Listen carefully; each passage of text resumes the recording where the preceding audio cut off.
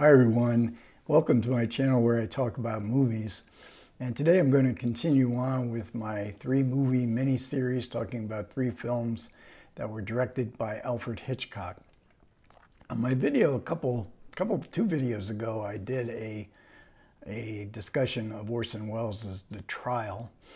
And uh, the last film I talked about with the first film in this miniseries was Hitchcock's Shadow of a Doubt. And I didn't mean the trial to be the lead into these three Hitchcock films, but boy, it really works out well because these are really films about trials.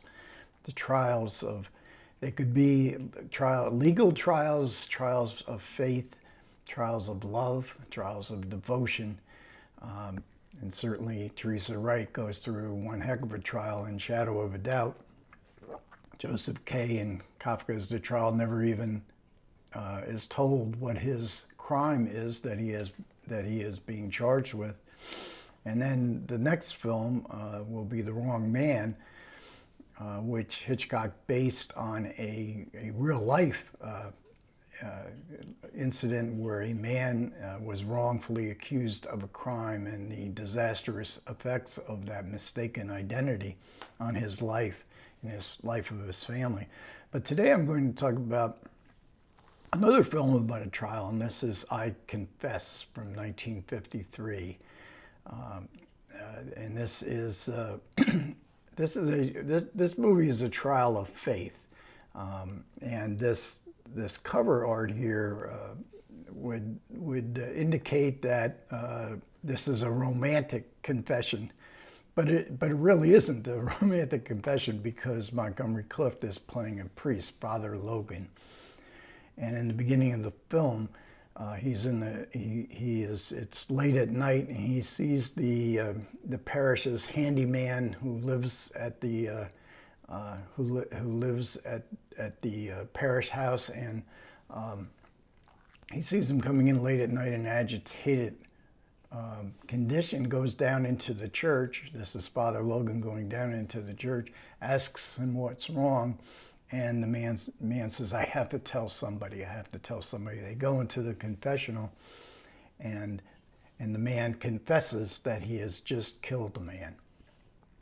The sanctity of the confession is now uh, under fire. What, what truly uh, um, complicates this story is that there's a great deal of circumstantial evidence that points to the to Father Logan as the killer.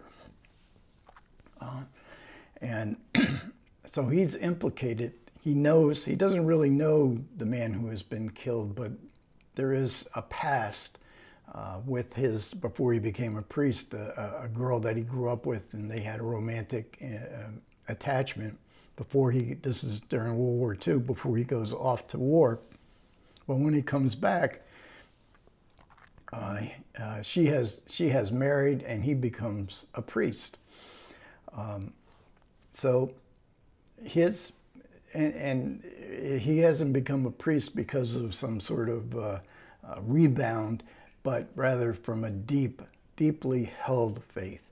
Um, and, and now with this circumstantial evidence against him that he has committed the murder, and there is some substantial evidence here, um, how far will he go? How far will he go with maintaining his devotion to his oath as that the, the confession is, there's, there's uh, you know, he has to be faithful to this oath that he will not divulge uh, a confession even of a killer. This is a story of confessions. there's, there's a couple more very significant confessions uh, that come about. Now, this was filmed in Quebec City, and it was filmed, the exteriors were filmed totally on location.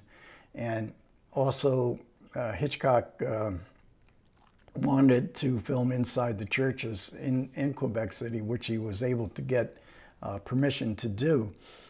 Uh, so we get this opening shots of Quebec City at night. It's very black and white, kind of Noirish cinematography we see look quick because uh, there's a shot going up a long flight of stairs in the middle of the city and at the top we see Hitchcock walking slowly across the sidewalk at the top of these stairs.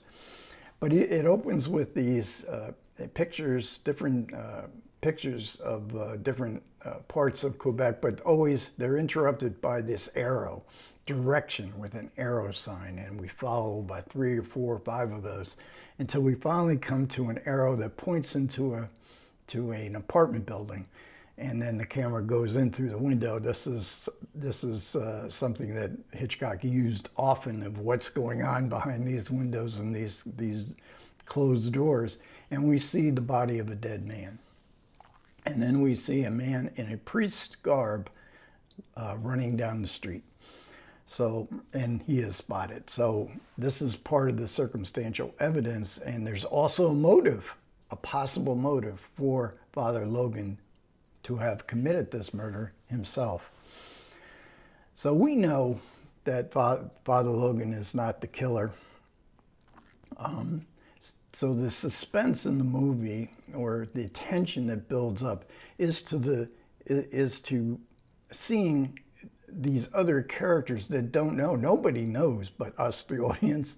Uh, Father Logan, the killer, also the killer's wife, who who has a who has a very prominent role in, in this film. She doesn't have much dialogue, uh, but she is going through a trial too. She is married. She knows her husband has killed uh, and has confessed. And uh, but what does she do about it? So we we we finally do reach this moment of epiphany, and it's one of the great moments in Hitchcock's films. And uh, I've been surprised. I haven't watched these films in many years, and one of the reasons I don't particularly like to talk about Hitchcock's films because I'm so affected by them for some reason. Uh, and, you know, where, like after Shadow of a Doubt, you know, that night I, I suffer from insomnia and I lay in bed at night and I'm, I'm just going over the, the, um, the themes of the film and the emotional impact of Shadow of a Doubt. And I had the same experience with I Confess. Now, this is another film that I pretty much thought I knew by heart, but I probably have forgotten, uh, you know, the impact of what it had. There are some narrative coincidences here. Hitchcock himself uh, had uh, said that this is old-fashioned storytelling. He wasn't all that fond of this this movie. Um, when, during his uh, uh, Hitchcock Truffaut interview book, um, which uh, by the way, there's been a Hollywood reporter uh, um, uh, sort of sight and sound kind of uh, poll being taken that has been taken with famous directors like Spielberg and Martin Scorsese and and lots of people, and they have a consensus of the of they pick out their favorite books on film, and the Hitchcock Truffaut book came out to be the consensus number one book. And uh, I, am almost tempted to get it. I used to own it, lost in the flood years ago, but um, I haven't, so I haven't read it in a long time. But I, am thinking of picking it up because there was a, uh, I think it came out in the mid 60s, and I had the original edition, and I think there was a updated edition in the 1980s. Um, but uh, so, but this is a film, nevertheless, it's close to Hitchcock's heart. He was raised Catholic. He was raised in a Jesuit school.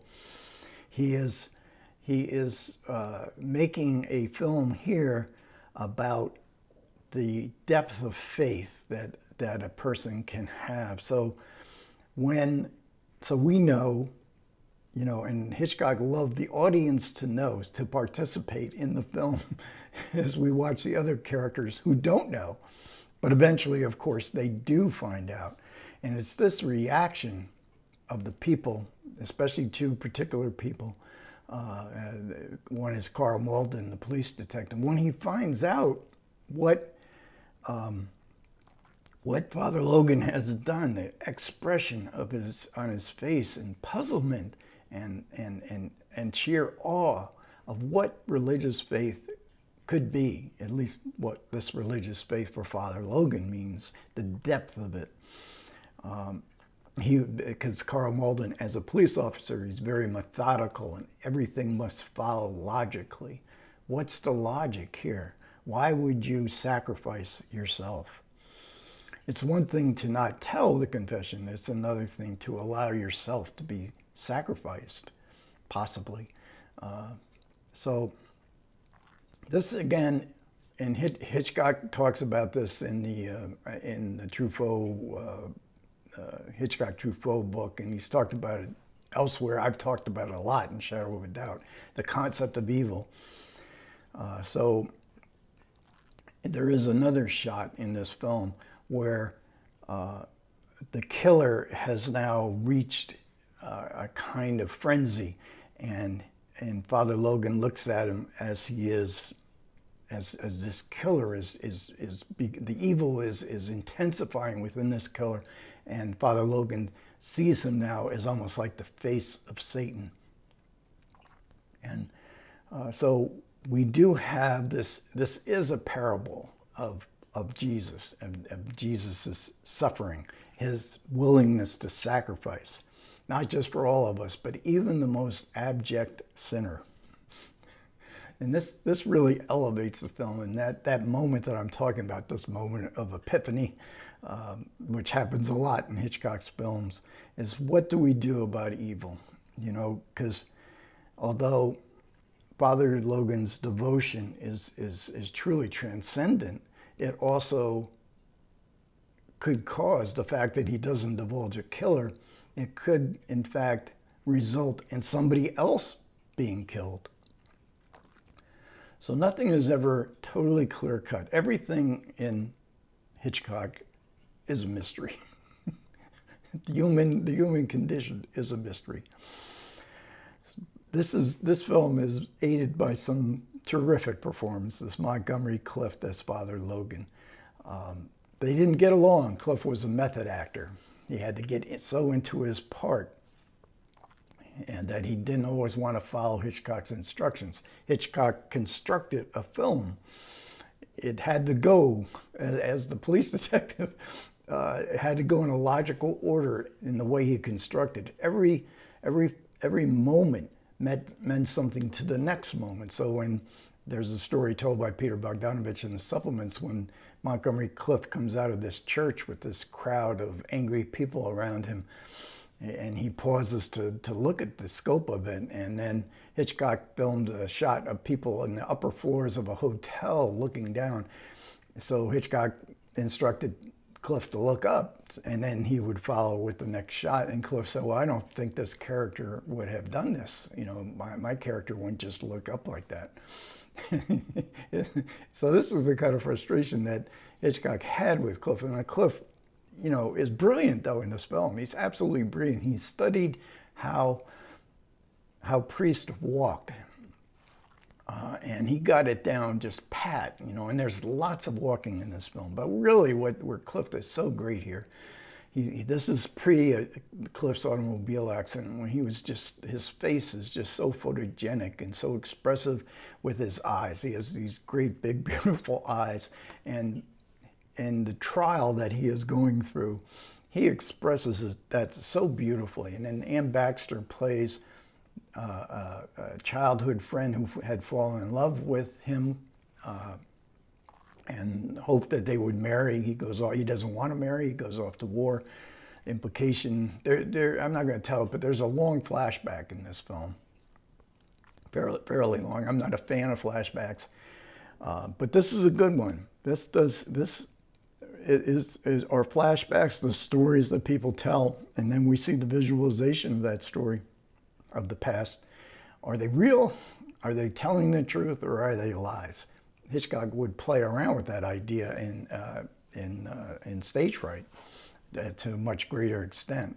She's good here. She's really good, Anne Baxter. And, and again, that expression. What Hitchcock is known as the master of suspense. But what Hitchcock really was, I think, was the master of the reaction shot because that's we see things and then we see how the characters react to what they are seeing and this is the this is the cinematic uh, aspect of, of, of, of, Hitchcock's storytelling. Um, that this is what he believed in a cinematic story, and, he, and also you can you can see Hitchcock's movies as we are, we know he's here. Hitchcock is making a commentary on, of, on cinema in his movies. What cinema can do, what cinema storytelling is about.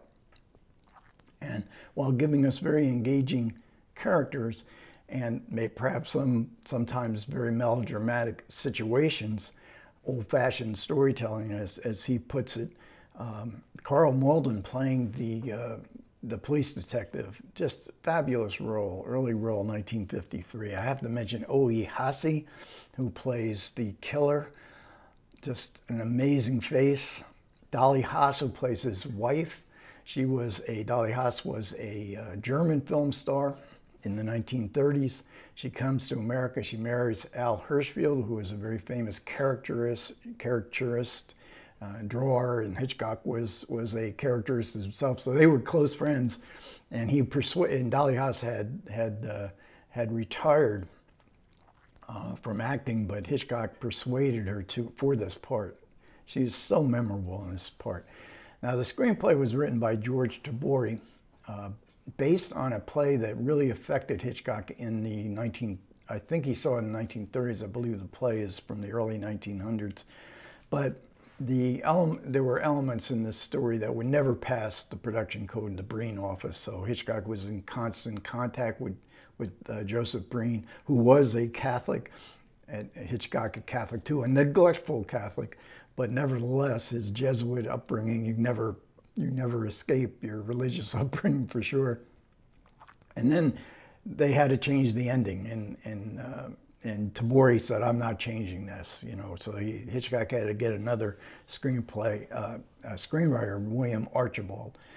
Uh, I think the ending is beautiful. It's it's really like I said, transcendent would be a word that you could use here. The music is by Dmitri Tiomkin. It's very noirish. It's a very effective score, and I got to mention Robert Burks' cinematography here. This was uh, Burks' second time working with um, Hitchcock as a cinematographer. He also filmed uh, Strangers on a Train earlier. He, he films uh, The Trouble with Harry, um, uh, to, to, Catch a Thief, Vertigo, Rear Window, uh, The Birds. He didn't, he didn't do Psycho. Uh, Hitchcock used a, television cinematographer for, for Psycho. But Burke, Burks is uh, black and white shots here, just amazing. Uh, the uh, uh, the churches, the church spires, the, the when things go wrong, we, we see these um, these elements of uh, Quebec City, which is very very photogenic. I, I don't I have, I have to I have to try to discover there's more films that were filmed in Quebec City. So uh, overall, I confess. it's just, uh, you know, uh, these films mean a lot to me, and uh, and I'm I'm really pleased. I I, I had foregone talking about Hitchcock uh, because of how close I feel to his films, but I'm kind of glad I'm I'm doing it now. So the next the next one up will be the th the third in this three film miniseries will be The Wrong Man. Okay, thanks a lot for everybody who managed to listen. I do appreciate it. Comments are welcome. Take care.